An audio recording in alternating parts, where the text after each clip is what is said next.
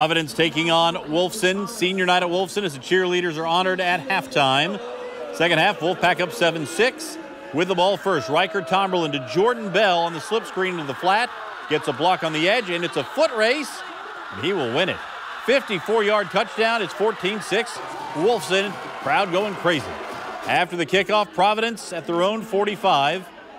Cooper Froelich pitches it back to Jet Hood. Bad pitch, ball's on the ground, no worries. Hood picks it up and finds Sawyer Chavette wide open.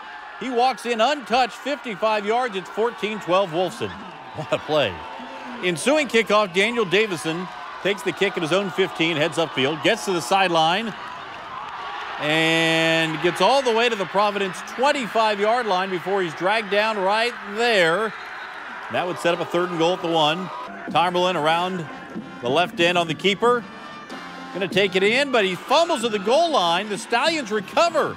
Might have been the play of the game right there. Providence goes on to the win 18 to 14.